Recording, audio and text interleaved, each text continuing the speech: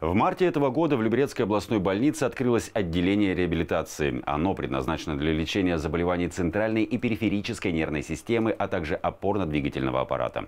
За 6 месяцев в новом структурном подразделении оказали помощь более 120 пациентам. Подробности далее.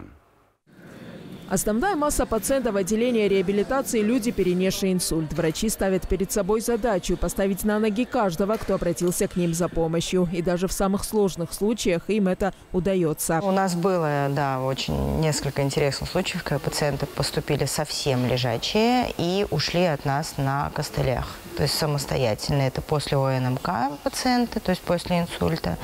А, мы сами были очень удивлены результату. То есть пациенты старше 70, но очень очень рады. Они возвращались, приходили недавно в гости, довольные, ходят самостоятельно. Это, конечно, вот безумно радует. На такой же результат рассчитывает Валентина Князева. Недавно ее супруг перенес инсульт. Восстановление в отделении реабилитации уже показывает положительную динамику. Приехали сюда, мы лежали без движения, можно так сказать. Сейчас мы сидим,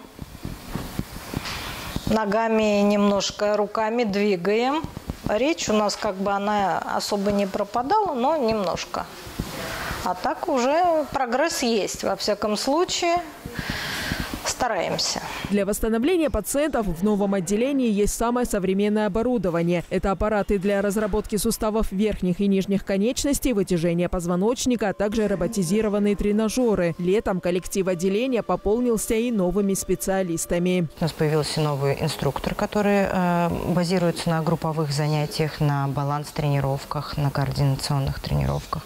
У нас появился прекрасный врач, который раньше работал в сборной команды э, по футболу и работал в институте Бурденко с инсультными больными. То есть мы расширяемся, расширяемся по персоналу, по тренажерам. За полгода здесь оказали помощь более 120 пациентам. И это не только жители Люберец. В отделении принимают пациентов из любых городов Подмосковья. Реабилитация проводится бесплатно по полису ОМС.